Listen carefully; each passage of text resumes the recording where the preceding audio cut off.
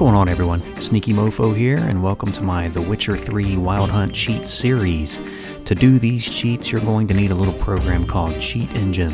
So head on over to cheatengine.org, click the giant download button to download the program, then install it and you're all set. Geralt, do you even lift, bro? What's up with this weak sauce right here? We've got to do something about that. If you want to change your carry weight, all that you need to do is go into Cheat Engine, attach it to The Witcher 3. From value type right here, you want to select Array of Byte, and then you want to paste in the array that I have in the video description. So go look for this in the video description.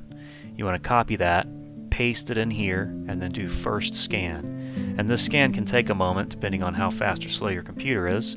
Also of note, this is only going to work while you have the game running. Alright? So once you restart the game, or if you close it out when you come back in, your carry weight will be reset. You'll just have to do this process again not a big deal, it doesn't take long. Alright, so once your first result comes up, you double click it.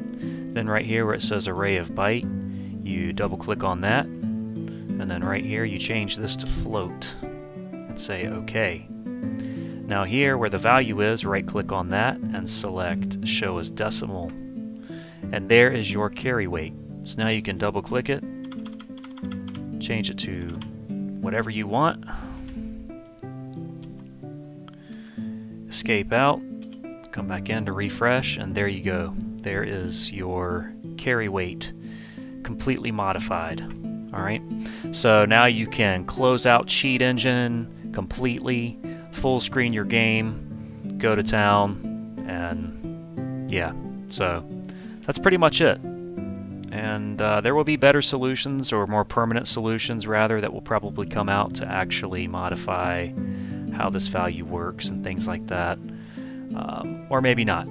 So far, a lot of stuff in this game has been a huge pain in the butt to find with Cheat Engine, but this is a good temporary solution. So if you want to change your carry weight, there you go.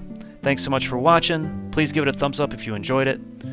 And uh, let other people know as well if you have some friends playing The Witcher that you think would want to do this. Lastly, don't forget to subscribe to the playlist because I'm going to be putting out more of these Witcher 3 cheat videos. Alright? Thanks again for watching. See you guys in the next one. Take care.